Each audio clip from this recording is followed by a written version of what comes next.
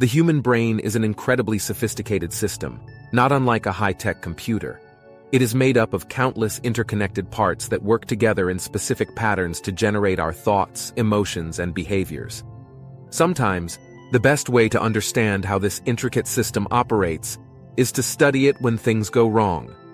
Since the establishment of psychiatry by French physician Philippe Pinel in 1790, the investigation of brain injuries, illnesses, and disorders has yielded invaluable insights into the workings of the human mind and brain. Disruptions to normal brain function provide a unique opportunity to observe the concrete biological changes that impact our thoughts, feelings, and actions. Thanks to recent technological advancements, researchers are able to delve deeper into the study of disordered minds than ever before.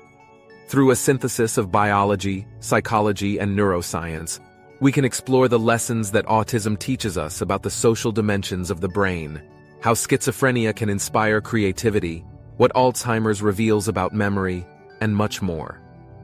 This video offers a glimpse into some of the most significant findings of modern neuroscience, including the relationship between schizophrenia and Parkinson's disease, why addiction is a chronic condition, and the ways in which our subconscious minds govern our daily lives. As human beings, we all experience sadness, wild ideas, strange urges, and moments of anxiety, euphoria, or forgetfulness from time to time. But what happens when these ordinary mental experiences escalate and begin to disrupt our daily lives? This may indicate the presence of a mental disorder. Mental disorders like depression, schizophrenia, or dementia often involve an amplification of everyday thoughts, feelings, and behaviors. For instance, Clinical depression can cause weeks or even months of debilitating sadness. The primary takeaway here is that abnormal brain function can teach us a lot about how brains function normally. Psychiatry, which is the medical study of mental disorders, was established by French physician Philippe Pinel in 1790. Pinel was the first to suggest that mental disorders have a physical basis. Today, we understand that all mental disorders are also brain disorders. Genetic defects, environmental factors, or injury can alter the brain's normal structure and functioning. These physical changes directly impact a person's thoughts, feelings, and behavior, providing valuable insight into how our brains operate. Before we delve deeper into this field of study, let's review some basics. The brain is composed of millions of specialized nerve cells called neurons that form intricate networks to transmit information between our brain, body, and senses, giving rise to our mental processes. Neurons communicate via electrical signals and chemical molecules called neurotransmitters. In many mental disorders, specific neuron networks become dysfunctional, hyperactive, or incapable of communication. Modern neuroscience employs cutting-edge scientific technologies to investigate why and how this occurs. For instance, scientists can manipulate certain genes in mice to study their effects on the brain.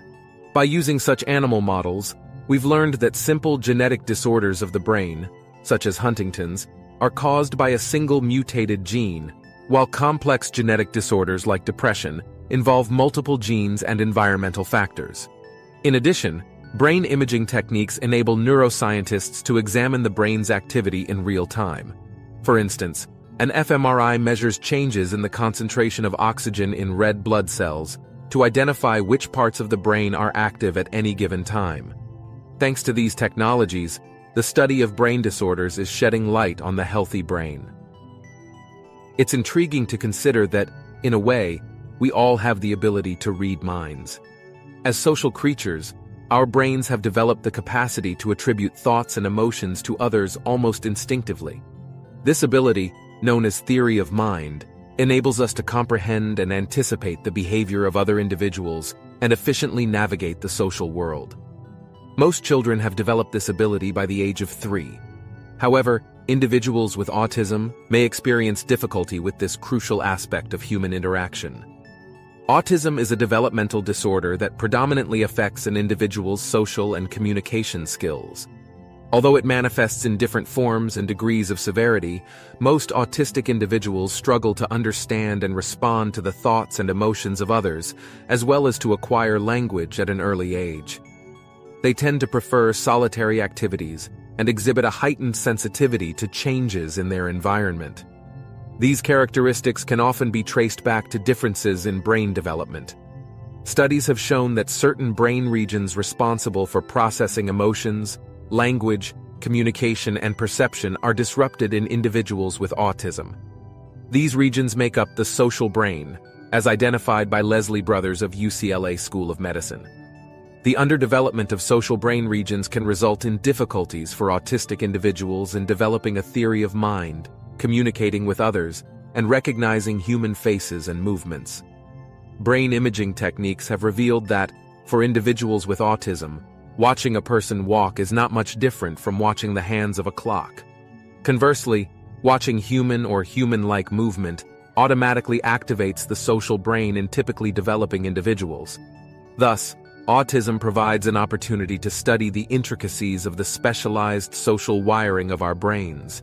It reminds us of the deeply social nature of human beings and the remarkable ability to understand and anticipate the thoughts and emotions of others, which is essential for effective communication and interaction.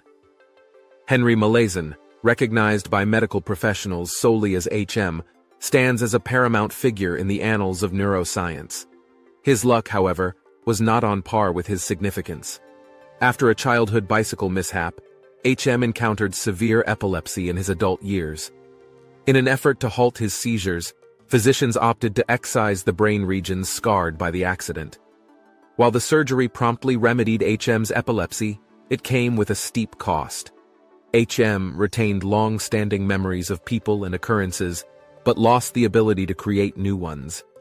Every fresh detail he acquired post-surgery was instantly forgotten. Intriguingly, researchers discovered that he could still pick up new motor skills, like drawing techniques, without retaining any memory of practicing them. HM's case exposed the brain's dual memory systems, a specific recollection system that accounts for remembering events and individuals, and an inherent recollection system that enables us to recall learned motor skills intuitively, like cycling or piano playing. The hippocampus, which was excised in HM, plays a crucial role in specific memory. The hippocampus is also impacted by the two most prevalent brain disorders affecting memory, Alzheimer's disease and dementia, resulting in the gradual deterioration of memory. Unlike in HM's case, the culprits here are misbehaving proteins, not daring doctors. Here's where things get intricate, but stay with us, and you'll grasp the role of these proteins. Proteins, when healthy, fold into a distinct three-dimensional form, a protein's unique shape fits into certain brain receptors like a key in a lock, making it essential for proper function. In Alzheimer's and dementia, proteins misfold and begin to aggregate. These irregularly folded proteins are known as prions. These misshapen proteins initially emerge in the prefrontal cortex before eventually reaching the hippocampus, the center of specific memory. Initially, they cause a disconnect between neurons, and as the disease progresses, they eliminate neurons altogether. Memory disorders have shed light on the extensive impact minute alterations in the brain can have, but the identification of prions has also unlocked new potential treatment avenues for these conditions. Dementia and Alzheimer's aren't the sole neurological conditions rooted in misfolded proteins. The human brain contains numerous proteins, which means there are countless ways defective proteins can influence our cognition and actions. For example, Parkinson's and Huntington's diseases both involve misfolded proteins in the brain, progressively impairing an individual's mobility. When we're healthy, movement appears so innate that we tend to overlook the fact that our brains control our bodies. The motor system is composed of a distinct network of neurons that originate in the brain, extend down the spinal cord, and connect to each of the 650 muscles in our body.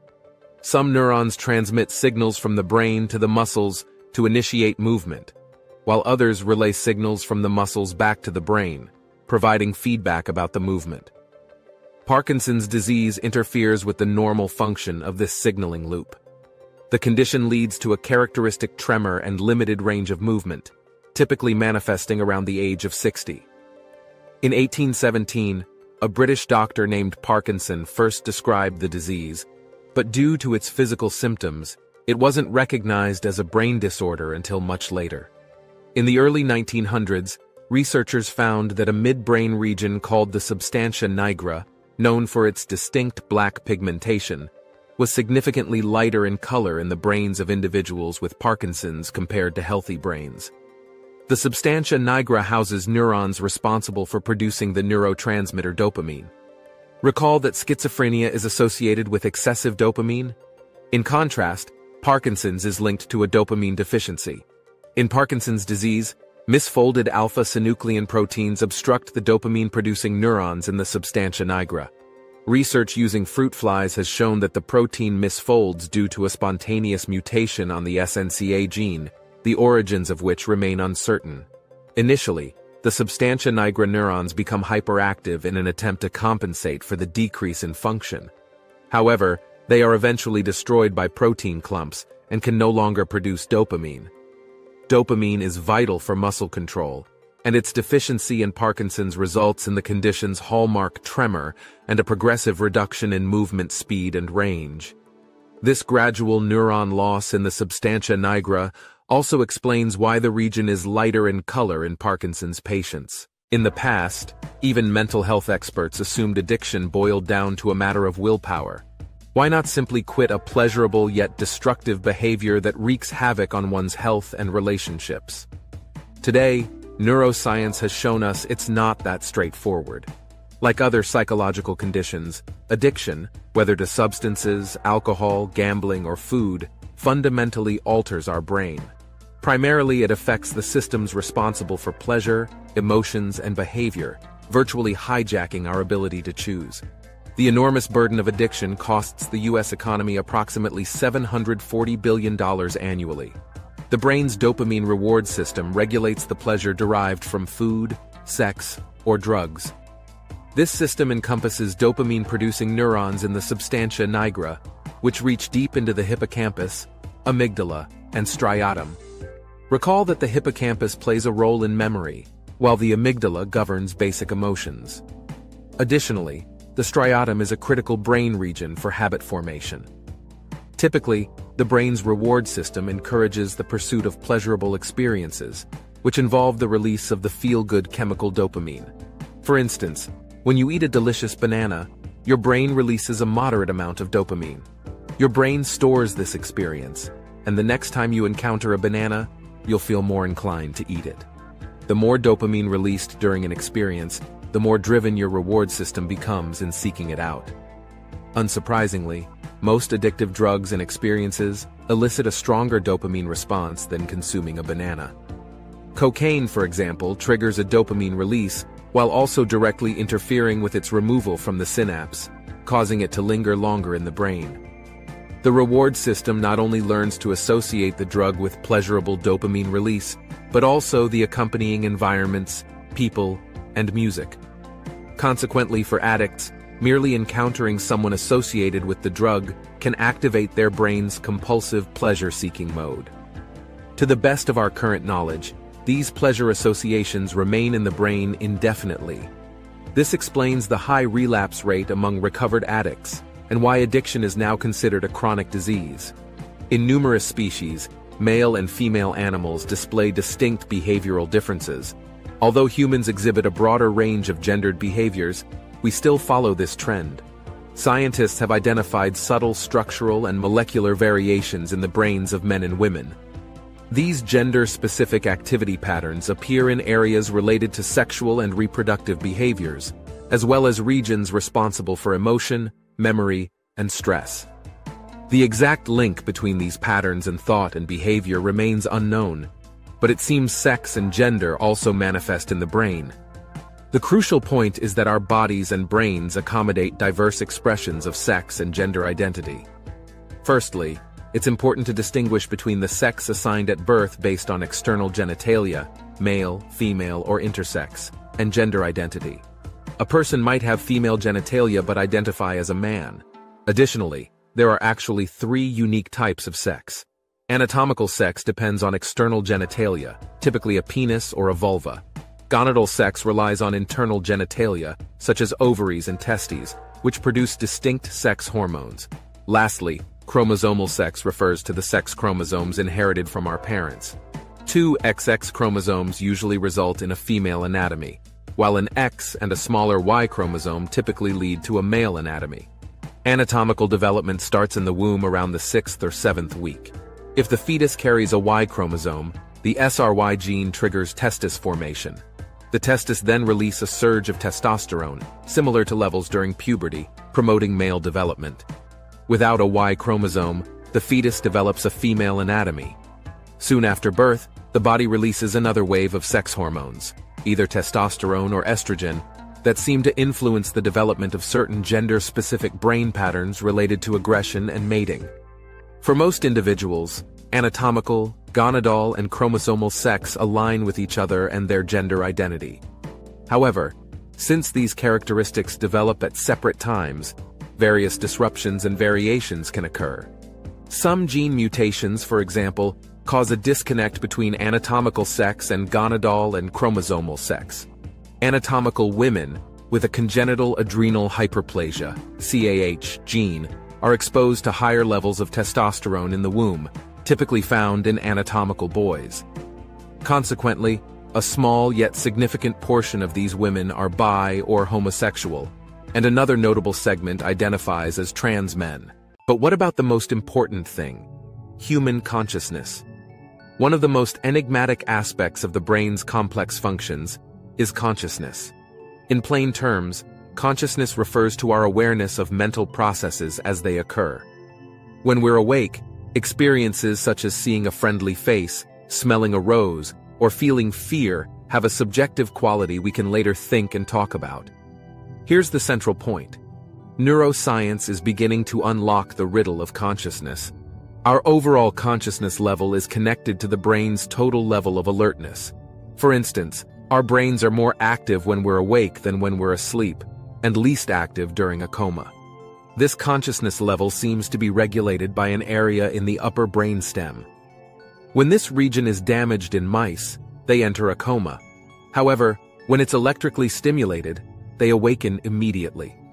Neuroscientists are also investigating when specific mental experiences become conscious and which brain areas are involved in these experiences.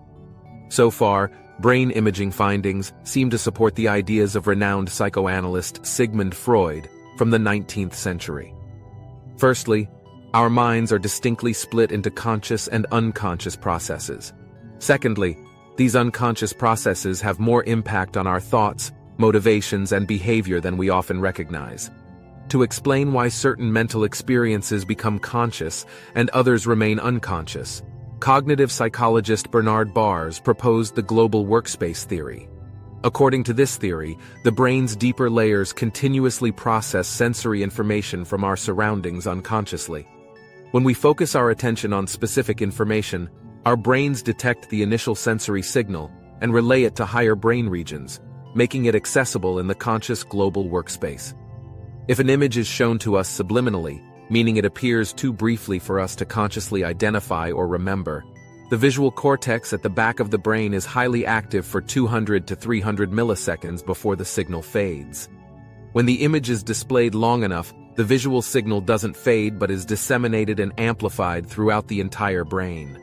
Only then does the image enter the conscious global workspace. There's still much for neuroscience to uncover regarding how our brains generate consciousness. However, with the help of new technologies and collaboration with psychology, psychiatry, and biology, it may be possible to unravel the brain's most intriguing mystery. Thank you for watching to the end. Our channel needs to get 1,000 subscribers, so if you subscribe to our channel, you'll help a lot. See you soon.